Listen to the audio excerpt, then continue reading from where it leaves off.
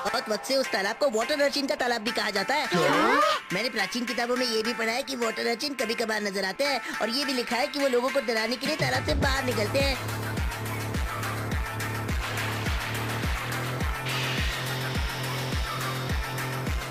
देखो मैं बताता हूँ। वाटर अर्चिन कुछ ऐसा दिखता है। उसका सर प्लेट की तरह होता है और उसके हाथ और पैर मेंढक की तरह होते हैं और वो उगते रहते हैं। अमारा तुम्हें तो उनके बारे में बहुत पता है। वैसे तारीफ़ मेरी नहीं इसकी करो। क्योंकि अनजाने में इसने बहुत बड़ी खोज कर ली है।